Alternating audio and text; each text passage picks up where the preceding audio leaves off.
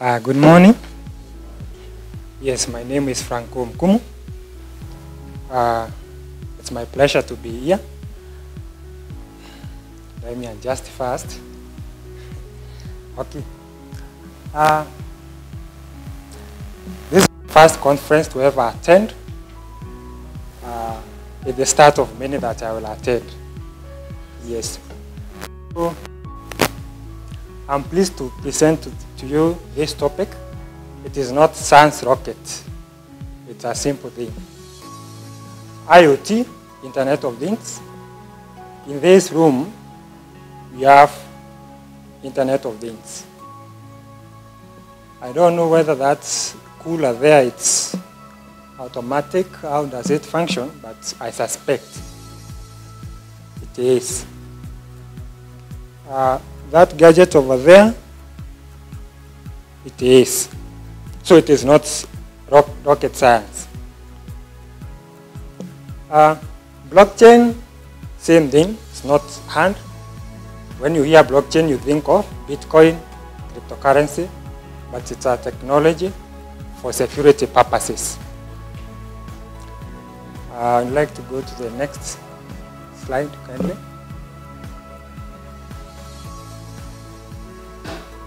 Next. Yes, pharmaceutical industry is one of the highly controlled industry in the world. Drugs are poisons if not taken well. Therefore, the authorities have to take control of that. However, the supply chain as it is, it is in parts. There is no system to bring it together for efficient workmanship. We have a manufacturer here, distributor there, wholesaler there, user there. They are not integrated together. They lack a system to do that. And the supply chain is not a one-way thing, it's a two-way traffic. The manufacturer needs to follow up their product up to the end user. And the end user needs to track that product up. When did it come from? How has it been handled along the way? They need that, that data with them.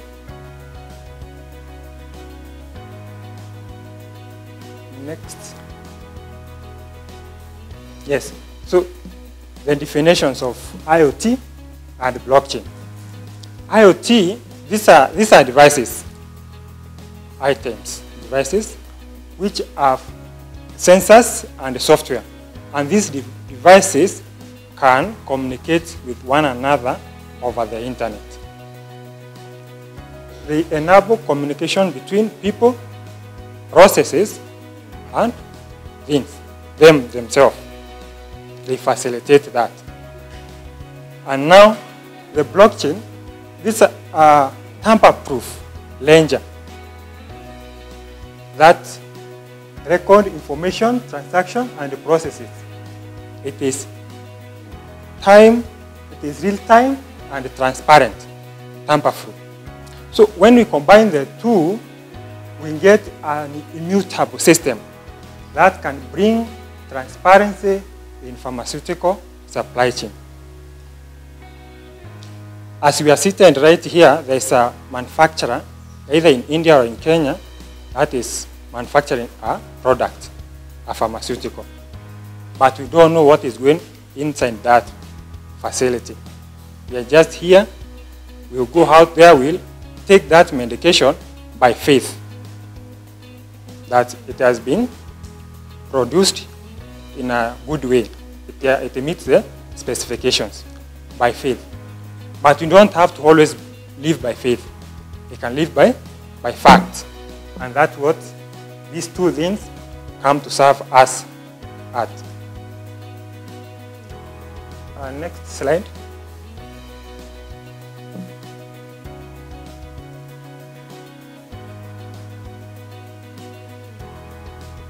Uh, in 2017, someone, Linda Stande in Kenya, and found out that 17% of drugs in Kenyan market are of poor quality.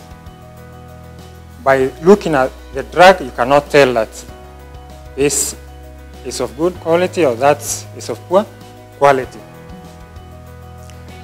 If we bring these two technologies in our facilities, we, we combine the IoT, industrial IoT and blockchain into our manufacturing plants. The system that they run there, they have the, these devices installed there. These devices track the conditions of the, of the instrument they are using, the conditions of the room, how the process has been taking place.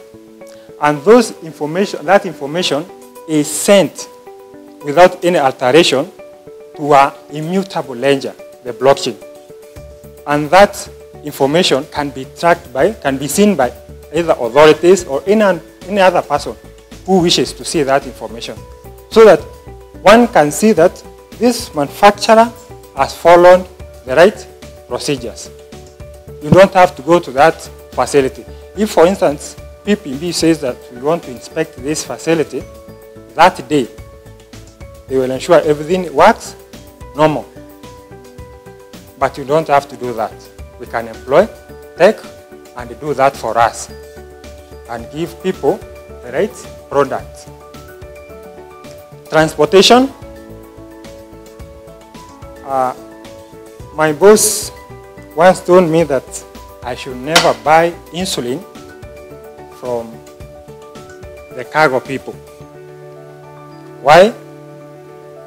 Because some of them do not keep them well. So even if it is expensive, just order from the supplier.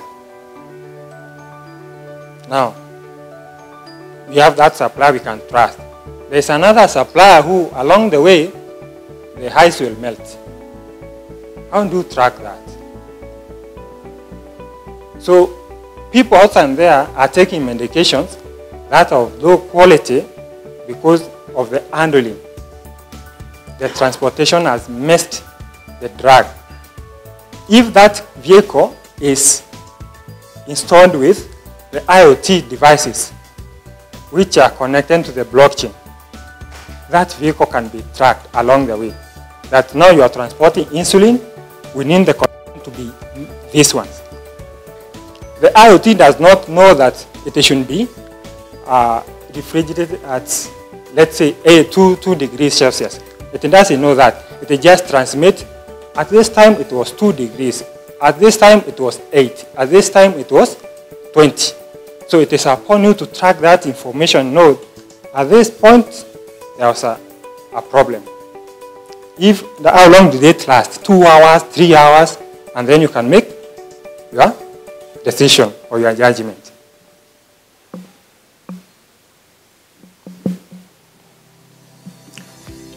These are applications of the the IoT and blockchain. Fight against counterfeit drugs. How many are in manufacturing? No one. Okay. So, some importers. Who is importing? Yes, we have one. You have a product is solely yours. That you are the one who has been authorized to distribute that product in Kenya. How do you know that I cannot go behind the, scene, the back door and bring the same same product and sell it, and whatever happens, it is you. Manufacturing, um, you are you are licensed to manufacture a drug. May I go to River I set my small facility there, I cook my things, I package that product as yours. What will you do? How will you know that this product is not really genuine? Even I can make exactly as yours, even if it goes to lab, it meets the standards. How will you know? With blockchain, we can do that. When you release a batch, a drug, you know the quantities that you have released. You have sent them to this area. So you know the Kenyan market has 1,000, 1 million tablets. So all of a sudden, you can track the movement of that, of your drug. Today, 100 of them have been dispensed to patients. There are uh, 20 packets at distributor level, others at wholesaler level, others at retailer level. Then all of a sudden you see at the wholesaler level, there's an increase of quantities. What does that tell you? There's a fish cooking somewhere. And you can track that. The authorities can track that. Because someone who has entered that data into the system is known. The blockchain has what we call nodes, where data enters at. Who has entered that data? Who was that person? What are their ID? Yes, according to WHO, 10% of drugs in middle and low income countries are fake. This number can be higher in Kenya. That's one I believe. It's high. But we can, we can do something about it. Another application of the IoT and the blockchain, it's product recall. Recently, there was a recall of Diprofos, if I'm not wrong. Unfortunately, Diprofos is not a fast-moving product. Now let's take a, a fast-moving product that has been discovered as a, a problem. Let's say, for instance, mm, Rigo decides there's a problem with Cetamol for pediatric and now they are recalling that product. It is a fast-moving product. So the issue a statement, we need this product back. How long will that take for that product to be recalled before it reaches? How long will it take that information to reach the retail pharmacy? The phone call, distributors, distributor to wholesalers, wholesalers to retailers. So maybe they, they phone call someone who is having some depression, stress, other things, they forget to pass the information. So, the setup will still continue to be what? Dispensed to patients. But with blockchain, Rigon just does what? Recalls that product. And that information is transmitted down the chain to the last person that this product cannot move forward. It can only move backward. So these are things that can really serve us so that we can ensure that we give the right medications to the patients. Yes, an illustration of the same. The whole structure of pharmaceutical supply chain from manufacturer up to the patient. And at the core, we have the blockchain and the IoT. A case study of its DAWASCOPE and many other health tech companies. As I said, uh, supply chain is a two-way traffic. It's not one way. So DAWASCOPE has, is, has, has implemented a prototype of the app chain visibility, where a patient can search for a drug, follow up for a drug, see the availability of a drug. Also, retailers can do that to their wholesalers and wholesalers to distributors. And one of the advantages of it, or the benefit, is that it has given the convenience to the users of knowing where to find their medication. And even the sourcing of those medications, the cost of doing the business, it's bringing down. So many, many health tech companies are coming up, and there are many. In Kenya, we have more than 10. We are trying to bring convenience to, to the industry. Now, as we are bringing the solutions to Kenya, to Kenyans, uh, and the whole of Africa, we may end up remaining discrete, separated, just like the system is at, at, at for now. We need a system that is for all of us, that every organization, any organization in the healthcare system can tap into and develop their product. That is their, their business. We don't have to have, this is Dawascope, developing Dawascope. Here we have Kasha there, we have another one there. So we need to have an, a core system where no one owns it or it's, it's for all of us, where each of us can tap into. No one, one person or one entity can do it, but it should not be the one, just one which is to do it. Like Bitcoin. Let's, Bitcoin was created, but anyone can set up their website and they trade the same, same currency on their own because it has been given to everyone. So that's why we should come together and make a system for all of us. Pharmacy, pharmaceutical products are at the core of healthcare system. There is no healthcare without drugs. Let's make this drug the cryptocurrency, the Bitcoin, whereby now you are setting up your system here.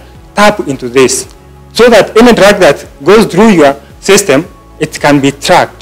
It can be known. Is it of good quality? Is it, is it from the right manufacturer? All that other stuff.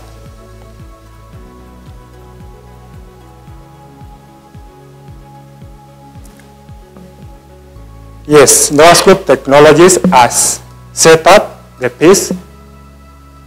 We are doing this. We are just calling all of us to come together and have a common goal of setting a system for all of us. The system that will guarantee trust and honesty in the pharmaceutical and healthcare sector as a whole for the betterment of our, of our people.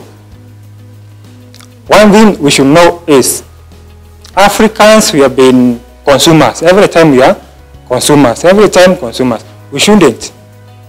We can also be producers. And Kenya is the hub of Africa. Let's produce a system for Kenya and for Africa. We don't have to wait for the big, uh, the big techs from America or Europe to, wait to do it for us. We have the capability, we have the resources to do it. Let us come together and do something good for Kenyan people and Africa as a whole. Thank you very much.